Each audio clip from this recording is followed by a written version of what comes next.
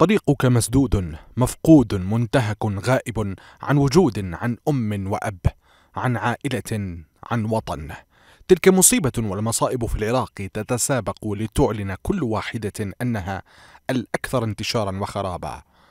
وفي اليوم العالمي للمفقودين لن يدهشك الرقم الصادم الذي أعلنته هيومن رايتس ووتش عن أن أكثر من ربع مليون عراقي لا يعرف ذويهم مصيرهم ولم تحرك الحكومات المتعاقبة ساكنا حيال مصيبة يموت فيها ذوي المغيبين ألف ميتة في اليوم. فمصير أبنائهم غير معروف هل هم ميتون أم أحياء؟ هل هم بخير أم لا؟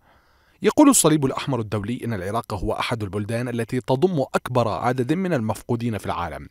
مئات الآلاف من المفقودين تركوا خلفهم عائلات تعيش في حالة من عدم اليقين وهي في صراع بين الأمل واليأس بانتظار سماع أخبار عن مصير أحبائها. وقد يطول الأمر في بعض الأحيان لعقود.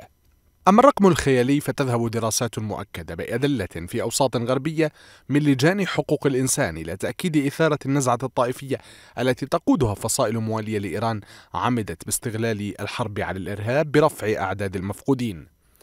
الخارجية الأمريكية نشرت تقريرا مفصلا عن ممارسات حقوق الإنسان في العراق حيث أورد التقرير أن هناك عمليات قتل غير قانونية أو تعسفية بما في ذلك القتل خارج نطاق القضاء على يد الحكومة ووجود حالات اختفاء قسري لمواطنين وتوجهها نحو التعذيب والمعاملة أو العقوبة القاسية واللا إنسانية والمهينة. وأن ظروف السجن أيضا قاسية ومهددة للحياة.